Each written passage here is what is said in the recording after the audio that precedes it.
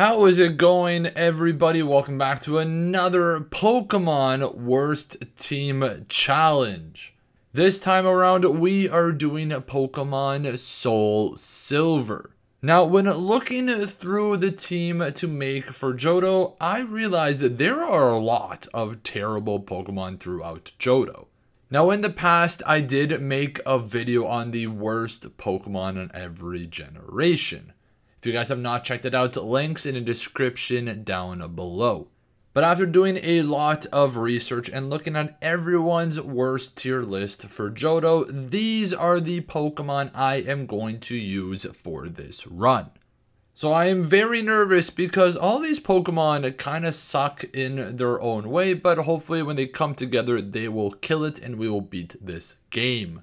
So these are the rules I will be setting for myself for this run, almost similar to the one I did before. Now I also did make a video not too long ago trying to beat Pokemon Emerald using the worst team. If you guys have not checked that out yet, link will also be in the description down below. But guys, before we get into it, make sure to hit that like button down below, subscribe if you have not, and let's get into it.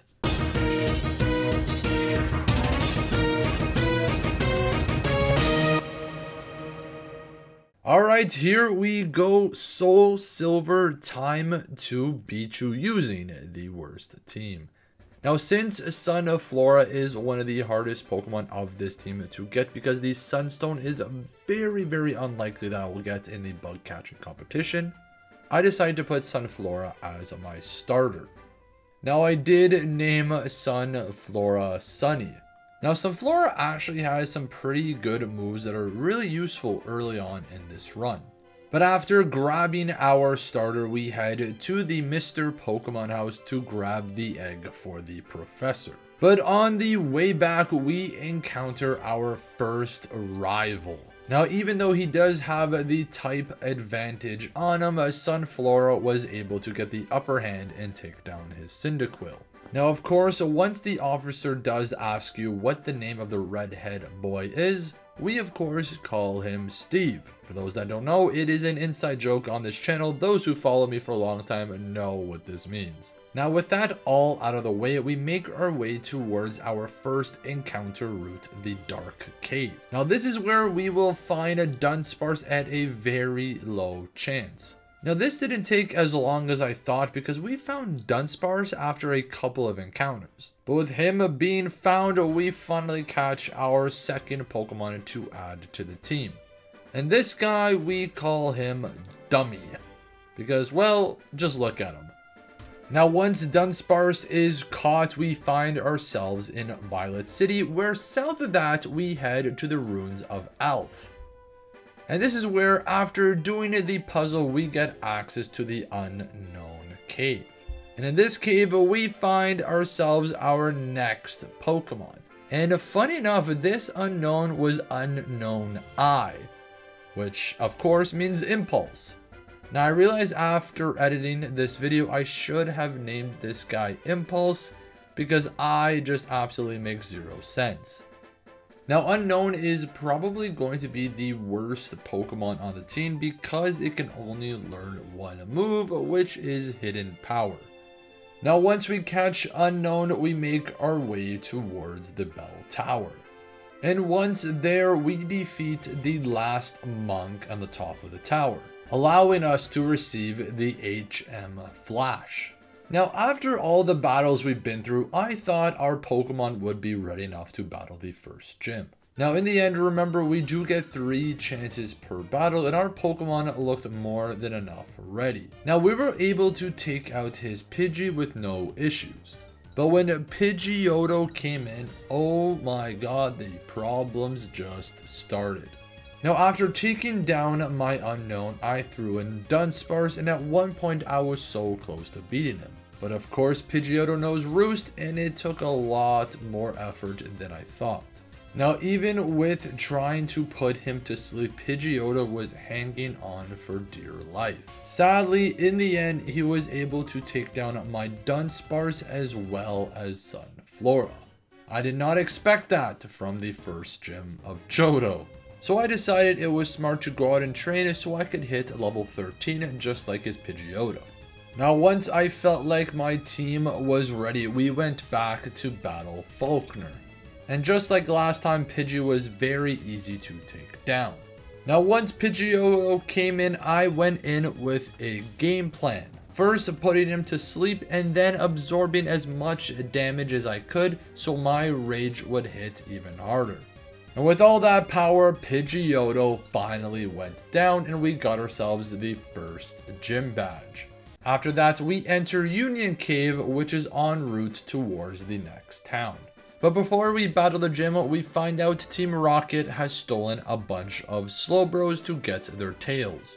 Once inside the well, we battle against the Team Rocket boss. Now once we save all the Slowpoke tails from being either sold or eaten, I wanted to go out and train a little bit more before I battled the second gym. But of course, our rival, Mr. Steve, had to stop us and wanted to battle. But in the end, Steve was no match for our team. Which is funny enough saying that because this is supposed to be the worst team in Johto. Now with Steve out of the way, we were able to get into the Ilex Forest. There, we trapped a Farfetch'd and brought him back to the owners to get the HM cut. And after a little bit of training, our team was set to get the second badge. Now, I know Johto is not the hardest generations out of all nine of them, but oh my god, Bugsy was probably the easiest gym battle I have ever done. And with this supposedly being the worst team, this was a very easy. But I do feel like we were a little bit lucky because Rollout just kept hitting and took down Metapod, and easily took down Kakuna and his ace Pokemon Scyther. And with that, we easily got the second gym badge. Now since none of our Pokemon are able to learn Cut, I went out to catch a Rattata and quickly use him as an HM slave. But with the path now open, this is the area I wanted to teach Dunsparce Headbutt. Now, after battling the last trainer on Route 34, we make our way into Goldenrod City. From here, we find the gym leader Whitney trying to beat this quiz. Now, this is when I came in, the so-called Pokemon Master, to beat this quiz. And while this took me a couple of tries, I finally beat it and got Whitney's attention. This allowed me to now enter the third gym. Now for those that played Johto back in the day, remember that this gym could be absolutely hell. Not only is her Miltank very very bulky, but it could heal itself and use a rollout, which gets powerful with every hit. So I was kind of nervous going into this battle.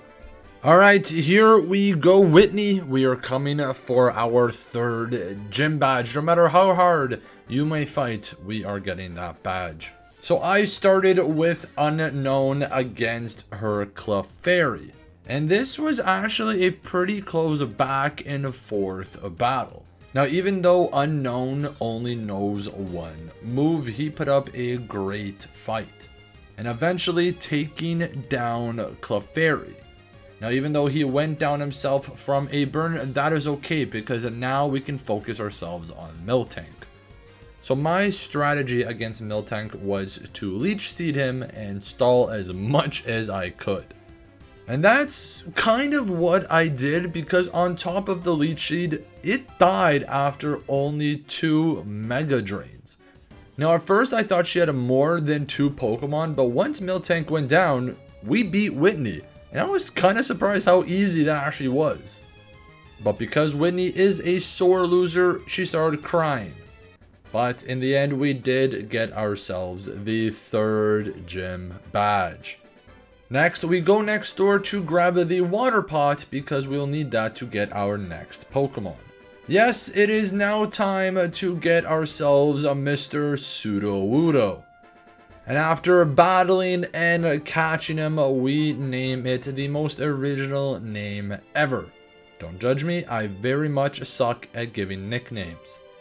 Now once that path is open, we find ourselves in Ecruteak City. Where once we enter the bell tower, we find ourselves again battling Mr. Steve. And surprisingly, this time Steve was getting the upper hand. His Magnemite was very hard to take down for some reason, taking down two of my Pokemon. And in the end, uh, sadly, we actually lost. Now coming back to fight Steve for the second round, I came with some vengeance. Now I quickly took care of his Gastly, then after I was finally able to take down his Magnemite without losing too many Pokemon. Now Zubat was the easiest to take down, and Quilava took a couple tries, but we were able to take him down as well, and Steve uh, finally goes down. Now after battling Steve, we went out to train to prepare ourselves for the 4th gym, as well to get the HM strength. After that, we entered the Ecruteak City Gym to battle some of the trainers and make our way towards Morty. Now, Morty is actually one of my favorite gym leaders in Johto, and Ghost Pokemon can be very tricky.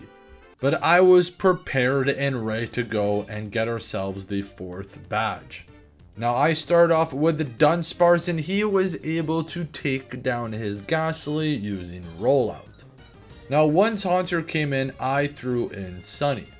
Now even though he was quickly able to put me to sleep, once I woke up, I was able to use a couple of growths and get big hits from Mega Drain. Thus, finally taking down his Haunter. Now in came his ace Pokemon, Gengar. So I decided to stick with Sunny so I could use Leech Seed. And lucky enough, I was able to get it off. Once he was seeded, I switched into Dunsparce to have some sort of type advantage. I used Glare to paralyze him and cut his speed. After that, I just went full out using the only move I could use, Rollout. And in the end, Rollout was more than enough to take down his Gengar. And for his last Pokemon, Haunter stood absolutely no chance because my rollout attack was already on a roll. See what I did there? And yes, Haunter went down, getting ourselves the fourth gym badge of Johto. Now after beating Morty, we find ourselves in Olivine City, and of course, Steve is always causing issues. Once Steve is out of our way, we head to the lighthouse to find Jasmine who needs medicine for the Ampharos. Now, since I forgot to get a Surf, we cannot pass to make our way towards Cianwood Island. So I head back and save the beautiful women of this city from Team Rocket and get ourselves the HM Surf. And then remembering on this beach, we can actually find a Corsola here. Now after fishing for a while, we finally find Corsola. And then midway through the battle, I realized I forgot to buy Pokeballs. So after buying more Pokeballs, we go and catch the Corsola to add it to the team. Now I named Corsola Crown. Now I think this name was pretty innovative. Let me know what your favorite nickname has been so far. But with Corsola now on the team, we can finally teach someone Surf. And with that, we finally are able to make our way to Cianwood City. Now this is where we can get to the medicine for Jasmine's Ampharos. But before we head back, we have to beat and fight our next gym battle. So I used some of his trainers to help level up my Pokemon. Now once I felt my Pokemon were high enough level, it is now time to battle Chuck. And I honestly forget Chuck only has two Pokemon, which is not that much. Now what's funny about battling against his Primeape, while he was using Double Team, I was using Growth to boost my attack. And he thought I was going to miss. No, no, no, no, no. This is not how it works. And Sunflora was able to take down Primeape. Now, even though his Poliwrath did put me to sleep and almost kill me, Sunflora was able to wake up just in time and one-shot his Poliwrath. And with that out of the way, we get ourselves the 5th gym badge. Now with the gym out of the way, we make our way back to Olivine City where we drop off the medicine. And with Ampharos feeling better, the gym is now open and ready to battle. Now here we go, time to get our next gym badge. Now steel type Pokemon can be very tricky, especially when you don't have a super effective move. And right off the bat, Magnemite took down my Dunsparce. So next I threw in Sudowoodo, hopefully to get more hits on this Magnemite. But sadly, after two Thunderbolts, Sudowoodo went down. Now thank god for Sunflora because I was able to boost up my special attack for a couple of turns using Growth. And once he was high enough, I was finally able to take down this Magnemite. And in the process, Sunflora was able to learn Petal Dance, a very good move. Now next up was the big boy in Steelix. And of course Sunflora, being the OG he is, took down Steelix in two shots. Now it was time for her last Magnemite. Now even though Sunny became confused, he was determined to take down this Magnemite. And that's exactly what Sunflora did and we got ourselves the 6th gym badge. Now we are so close to getting all 8 gym badges, we just have 2 more left. We have now arrived in Mahogany Town where the 7th gym awaits us. But before anything, we make our way towards Lake of Rage where we find the shiny Gyarados. Now since I can't actually catch this Gyarados, I kill him to get the red scale. And this red scale you can actually bring back to Mr. Pokemon to get experience share. And that's exactly what we did. Now before we go to the gym, we have to go help Lance to take care of Team Rocket. Now after helping Lance take care of the last of the Team Rocket leaders and all the exploding electrodes, he gives us the HM Whirlpool. And now we have access to enter the 7th gym. Alright, here we go against Pryce, the Ice type gym leader. Now he starts off with Seel and I go with Dunsparce. Now right off the bat, Seel was not doing that much damage on Dunsparce, so I thought it was time to use Rollout. And boy did that work in my favor because Rollout just kept getting worse and worse and ended up taking down Seel. Now when Piloswine came in, he hit me very hard with Blizzard. But with the rollout being active and stronger than ever, we took him down with one shot. But sadly, once Dugong came in, he was much faster than me and took Dunsparce down. So I decided to use Sunflora hoping he would eat one attack, which he did, surprisingly eating an Aura Beam. Now, even though I did use a Leech Seed, this wasn't the cause of his death. Sunflora just used Petal Dance and took him out in one shot. Which was honestly very surprising. I didn't think that would one-shot him. But in the end, we got ourselves the 7th badge.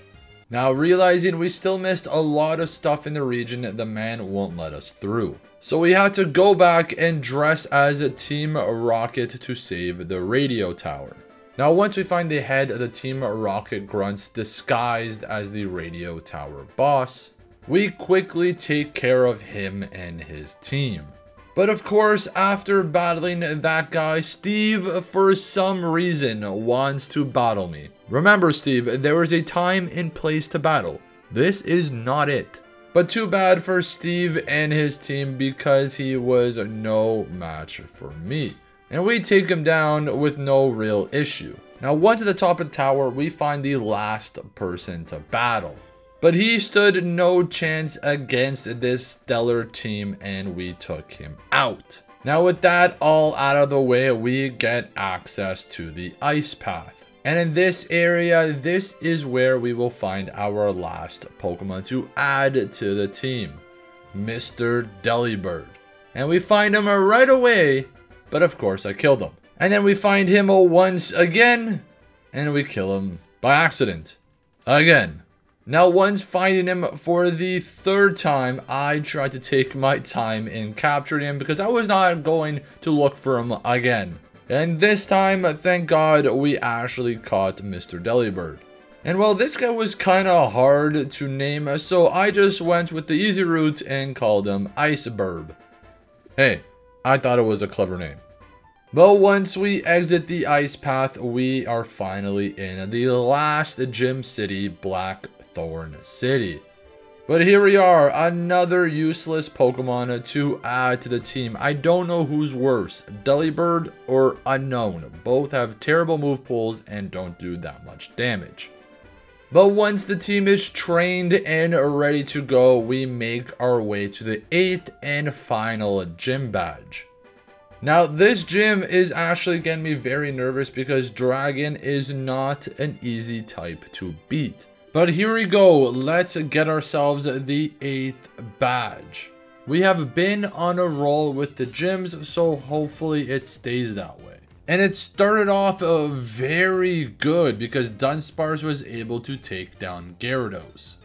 But once that Dragonair came in, it just went downhill. First taking out my Dunsparce, and then taking down Unown.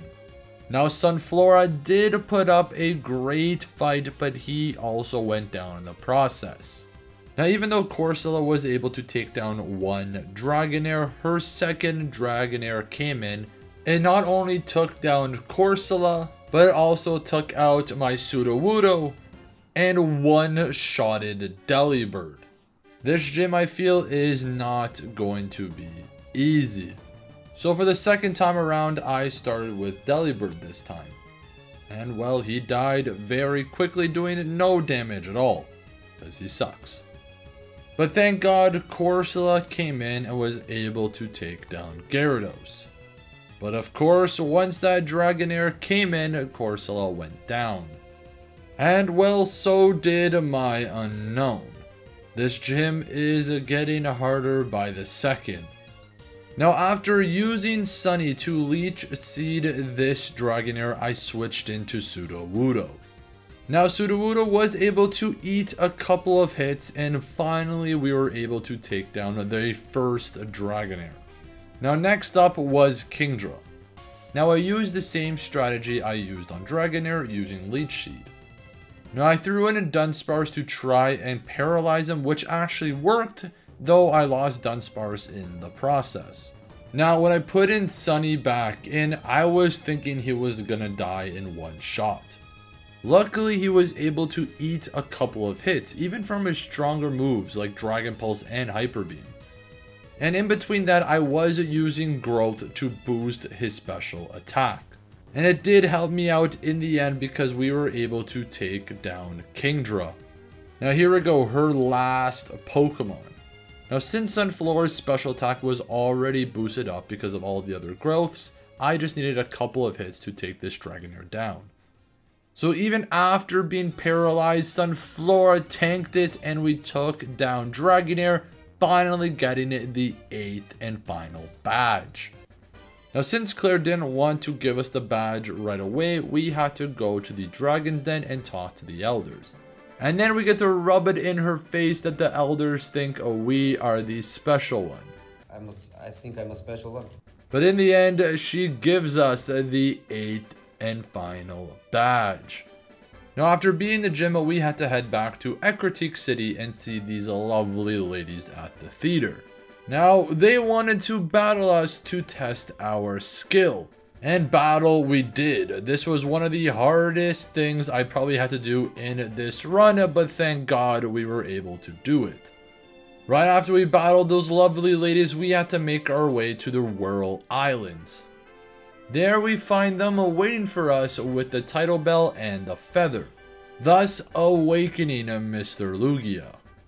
Now honestly, I did not know anything about this game going into it, and this cutscene was really, really cool.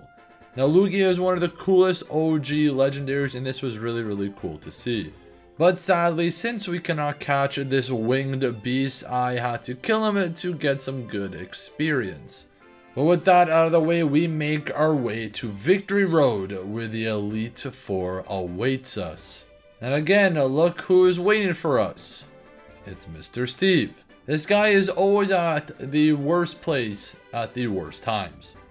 But of course, we do like we always do against Steve and kick his butt, and we beat him for the very last time. Now we need to train our Pokemon to level 50 because that is the highest level at the Elite Four. So we have a long way to go. Well, here we go. After training for so long, all my Pokemon have hit a level 50.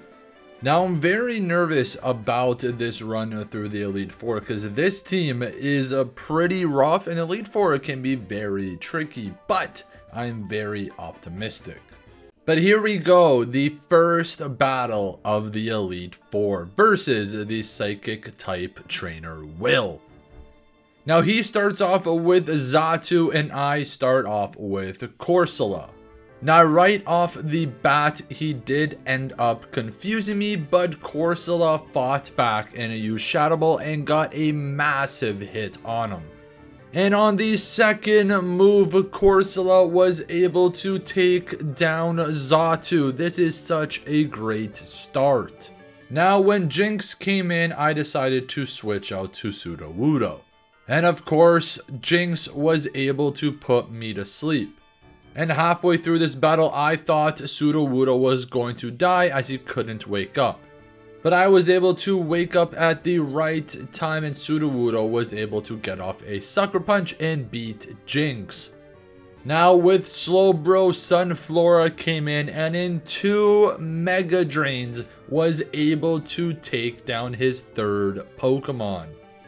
Now, once Will's second Xatu came in, I thought Corsola was going to do the exact same thing he did the first time. But life had other plans in mind and Xatu was the one to take down Corsola. But once I switched into Tree, even while having 1 HP left, he was able to take down Xatu. Now here we go, Will's last Pokemon, and it's a hard one, Exeggutor. It can be very tricky and very tanky. So right away, I threw in Dunsparce and used Glare to paralyze him.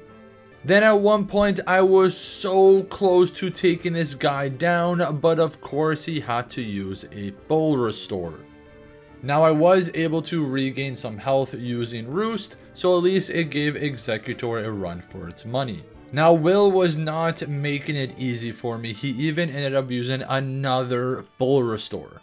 But thank god Headbutt made him flinch twice and Quick Claw helped us to finish the job, taking down Exeggutor. And that's it, we beat Will the first Elite Four member.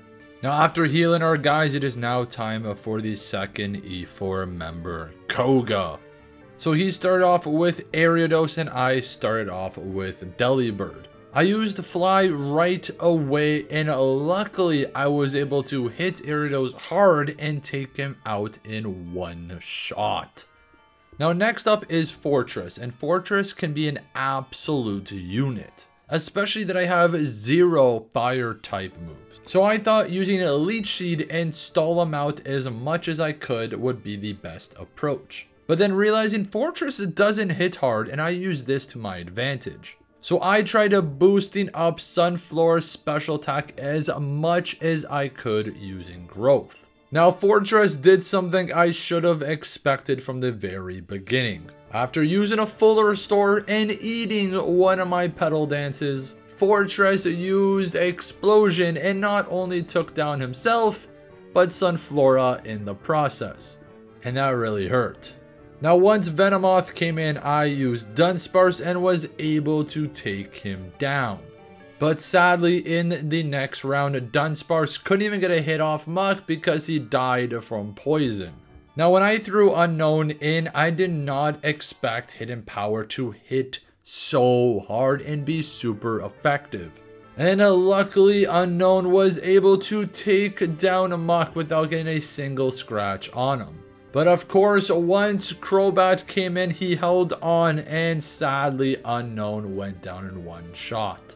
But that's okay. That's why we have Sudowoodo to come in and play cleanup. And we were able to finish off Koga once and for all. Now here we go with the third Elite Four member, Bruno. And which could be kind of the easiest one here. Now, just to test my theory, I threw an Unown once again, and oh my god, Hidden Power was super effective and took down Hitmontop in one shot. Not only that, but he was able to take down Hitmonlee. And was this close to taking out Hitmonchan, but sadly went down. What a run Unown has been doing. So to take down Hitmonchan, we used the Delibird and used the Fly to take him down. Then Corsola was able to eat a hit from Earthquake and take down Onix using Surf.